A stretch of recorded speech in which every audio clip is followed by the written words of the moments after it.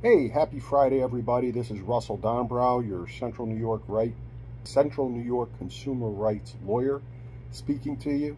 Um, I wanted to follow up on something I said uh, yesterday about walking away from a deal if it seems too good to be true. Uh, I still believe that. I'm not really changing that.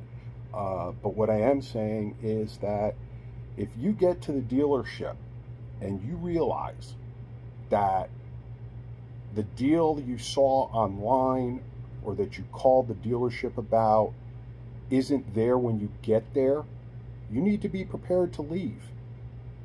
And you need to be prepared to either go to another dealership, which is frankly what I think you should do, uh, or just hold off for a while before you before you go back anywhere and try to buy another vehicle. Um, just the best thing to do. Bye.